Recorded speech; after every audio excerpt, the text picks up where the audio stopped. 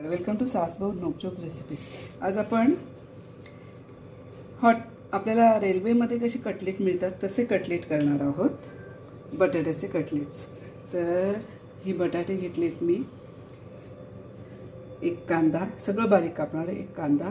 हे थोडं मी बॉईल करून घेतलेत. वटाणे एक मिरची गाजर लसूण. तर आता हे सगळं आपण बारीक हे हे एवढं सगळं मी बारीक कापून घेणार आहे. आणि वाटाणे आपण नंतर टाकायचं आहे. लिंबू पण नंतर पिळायचं आहे. आता आपण तेल टाकले आणि मी बारीक आलं लसूण पण बारीक कापले कांदा. जरा परतून घ्यायचे आता आपण याच्यात दोन मिरच्यासुद्धा टाकतो टाकतोय. आणि आपण बारीक कापून घेणार आहोत. तुम्हाला जर जास्ती पाहिजे जास्ती टाका. बारीक करून कापून घेणार आहोत. हे सगळं बारीक केलेलं आपण ह्याच्यात टाकले आणि छान परतून घ्यायचे आता यात बीट टाकलं तर तुम्हाला मस्त लाल कलर येईल. परतवलेलं आहे सगळं. त्यामुळे हे जर करून तुम्ही फ्रीजमध्ये ठेवलं आणि पाहुणे आले त्यांना गरम गरम तळून दिले तरी मस्त लागतील. हे छान परतून घेते मी. आणि आता आपण बटाटा कुस करून घेऊ. तो पण ह्याच्यात टाकू. मीठ घालतो मी काळं मीठ वापरते. तुम्हाला जे आवडेल ते मीठ वापरा. ही धणे जिरं पूड आहे. धणे आणि जिरं पूड. त्याची खमंग वास येतो. आणि थोडंसं हळद आणि थोडंसं मी थोडीशी मिरची पूड. आपण मिरची पण टाकलेली आहे. आणि याच्यात थोडासा गरम मसाला टाकायचा. गरम मसाला पाहिजे तर टाका चाट मसाला टाका. मी चाट मसाला टाकते थोडासा. टाकूया आपण. घेऊ.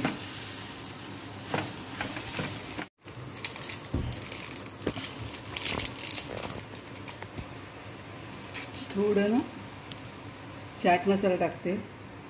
थोडासा लिंबू पिळते. आणि जो आपण वाटाणा बापलेला आहे तो वाटाणा आणि आता एक लिंबू पिळून ठेवते आणि सगळं मी एकत्र करते.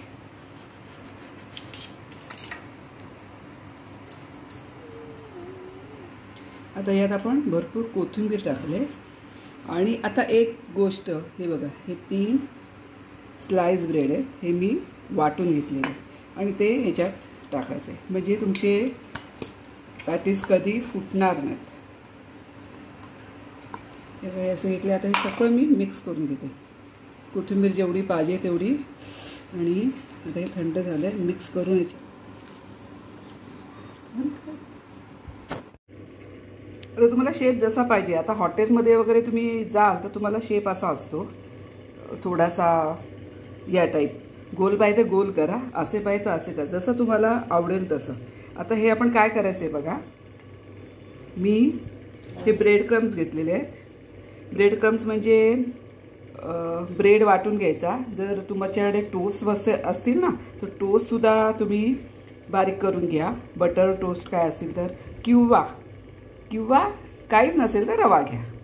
आणि बारीक रवा. हा कॉर्नफ्लॉवर आहे दोन चमचे घेतले. याची मी आता पेस्ट करणार आहे. हे बघा पेस्ट केले. आता लावताना कसं लावायचं बघा.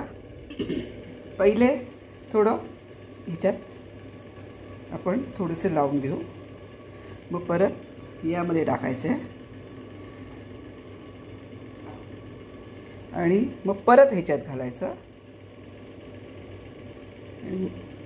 जरा चांगलं लावून घ्या.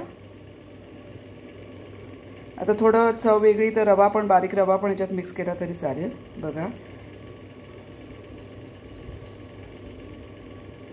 असे सगळे लावून घेऊ. आता हा एक गोल पण दाखवते. पहिले ब्रेड क्रम्सला लावून घ्या. मग ह्याच्यात टाका. आणि परत याला लावून घ्या. म्हणजे तुम्हाला जसे हॉटेलमध्ये मिळतात आता या टिक्कीच हे अशा लावून फ्रीजमध्ये ठेवून द्यायच्या फ्रीजरमध्ये. एका जी आपली झीप बंद पिशवी असते ना त्याच्यात ठेवायच्या. किंवा जेव्हा तुम्ही त्या विकतच्या टिकी असतात ना त्या अशाच असतात. पण त्या फ्रीजरमध्ये. आणि फ्रीजरमधून पाहुणे येणार असाल किंवा डब्यात ठेवा. पाहुणे येणार असतील ना तेव्हा एक पाच मिनटं अगोदर काढा आणि डीप फ्राय करा. जेव्हा तुम्ही बर्गर करायचं आहे त्याच्यासाठी या गोल टिक्क्या करा मोठ्या मोठ्या. आणि आता ह्याच्यात भाज्या मी कमी टाकले म्हणजे तुम्ही तुम्हाला जसं पाहिजे तसं टाका. हे आपण सगळं आता लावून घेऊ आणि डीप फ्राय करू.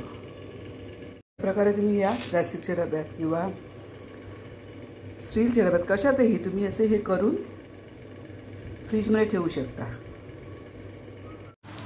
आपण मस्तपैकी डीप फ्राय करतोय.